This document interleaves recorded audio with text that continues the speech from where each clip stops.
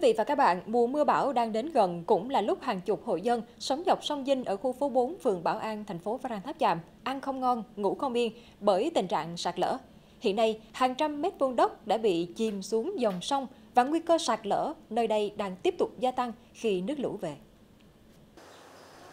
Hơn 200 mét vuông đất của gia đình bà Hồ Thị Hồng ở khu phố 4 phường Bảo An đã bị sông Dinh nuốt trọn.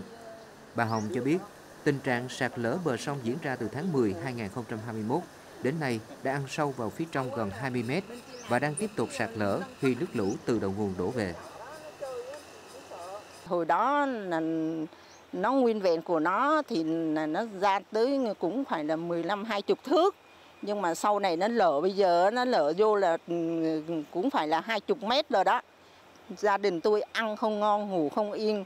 khi nó lục nó sạt lở về canh đêm coi như là ừ, phải thức đêm trắng đêm để mà coi nó sạt lở như thế nào để mà còn chạy ờ, bảo đảm tới tính mạng. Chính quyền địa phương cho biết, khu vực bờ Nam sông Dinh đoạn từ đập Lâm Cấm đến phía tây cầu Móng thuộc khu phố 4 phường Bảo An có chiều dài khoảng 925 m. Đến nay chưa được đầu tư xây dựng kè bảo vệ Khu vực này hiện có 63 hộ dân với 130 nhân khẩu đang sinh sống và sản xuất nông nghiệp. Từ mùa mưa năm 2021 đến nay, dọc tuyến sông này đã xảy ra 4 vị trí sạt lở.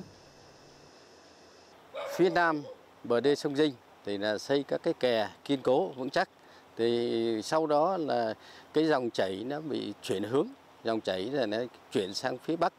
Thì khu vực này là phía bắc bờ đê sông Dinh Thế thì từ đập xuống ờ, Lâm Cấm xuống cái này khoảng 500 mét. Thế thì cái khu vực này là trung tâm sạt lở tháng 10 năm 2021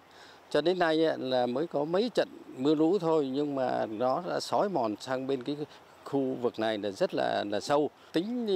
tổng chiều dài của này khoảng ờ, cái khu vực này là khoảng 200 mét và có bốn hố như thế này. Thì trước đây là chỉ có một cái nhà nó cũng sát ven đây nhưng mà cũng đã trôi rồi.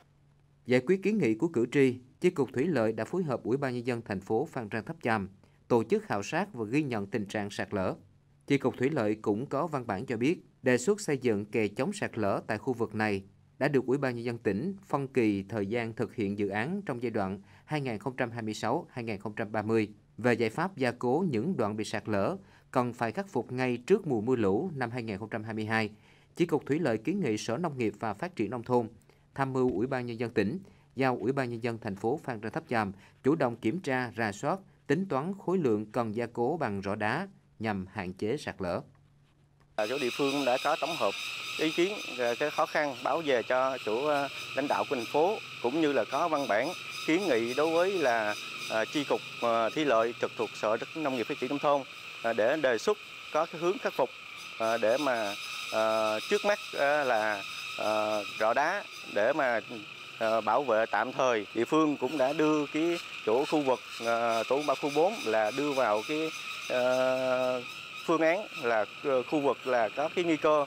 rất là cao để mà có phương án di dời là địa là địa bàn để mà trọng điểm khi mà có tình huống lục bão để mà di dời tài sản cũng như là tính mạng của bà con sang cái chỗ an toàn. Trong khi chờ Ủy ban Nhân dân thành phố Phan Rang Tháp Chàm và ngành chức năng của tỉnh có giải pháp khắc phục tình trạng sạt lở, Trước mắt, người dân khu phố 4 phường Bảo An sinh sống và canh tác dọc bờ sông Dinh cần nâng cao cảnh giác, chủ động phối hợp với chính quyền địa phương, kịp thời di dời người và tài sản đến nơi an toàn khi mưa lũ xảy ra.